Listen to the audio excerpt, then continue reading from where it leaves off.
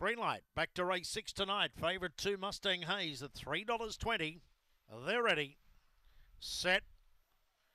Off now, Mustang Hayes got squeezed up at the start. Here's Taraway Lee showing all her customary speed to get across the lead. It wasn't me. Third, the outside was Typhoon Never Pandy running through Mustang Hayes behind them. Loving Smile, Humble Hornet check to the rear. Running into the back, the leader was it wasn't me. Tackled by Typhoon Nev. Three away, Mustang Hayes. Followed then by Katanga Tex. Dacey's Chief Taraway Lee dropped out, coming to the corner. In front is Typhoon Nev. Got away from it wasn't me and Mustang Hayes. And Typhoon Nev makes it the Typhoon Nev three in a row. Beats it wasn't me. Late day Dacey Strong.